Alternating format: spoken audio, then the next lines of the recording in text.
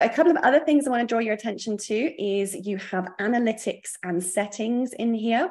Um, inside the analytics area, this is where you have much more detailed reporting about the course progress of your students. Now, I don't have anyone in here because there's a pretend, but when you click on course progress, it will take you to a particular course. You click on the course you want to see people's progress for, and you can see here I'm a test student in this course, but it will actually show you all of your students that have enrolled in this particular course. And it will show you by bar, by the progress bar, and this percentage as to how much that person has completed of that course, which is really cool.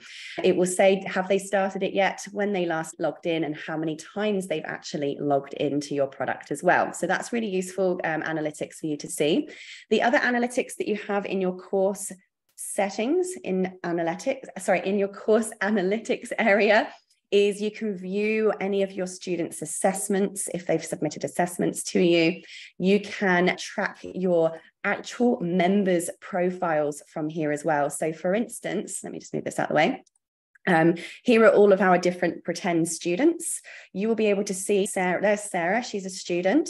Um, it will show you here how many things she's purchased. Um, we can actually go and have a little look at her. And you can see here when I click on Sarah, this shows every lesson she's watched, which course, how many lessons of which course she's watched, and inside the communities area, what she's been up to. Okay, so you can view all of your student progress from there inside your analytics member reporting.